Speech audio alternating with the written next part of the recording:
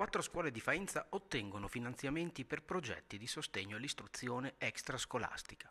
Si tratta di un finanziamento di 20.000 euro per mettere in campo azioni, progetti e laboratori per i giovani studenti faentini. Un contributo a fronte di una progettualità condivisa con eh, le dirigenti degli istituti comprensivi.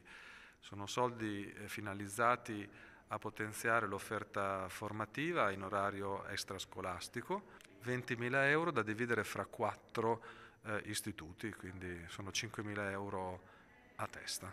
Non è soltanto questo eh, finanziamento che eh, mette in evidenza eh, l'impegno dell'amministrazione comunale per sostenere il diritto allo studio.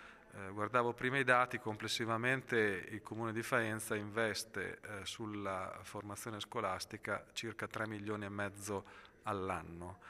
Eh, è chiaro che in questa somma ci sono anche i costi delle refezioni scolastiche, dei trasporti scolastici che sono particolarmente significativi, ma c'è anche il, i contributi per l'acquisto dei libri di testo e anche un certo numero di, eh, di somme eh, per sostenere le scuole nelle attività extracurricolari, di cui questo progetto che presentiamo oggi ne è l'esempio.